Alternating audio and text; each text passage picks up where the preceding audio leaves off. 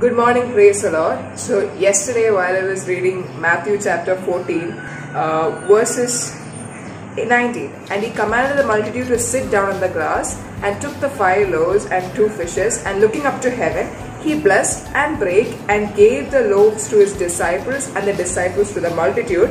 And they did all eat and were filled, and they took up the fragments that remained, twelve baskets full.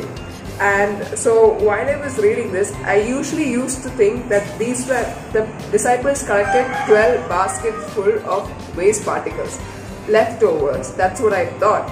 But it was then later that God spoke to me saying that it is actually not leftovers, but was actually extra food. So uh, this is something about how God provides for His children.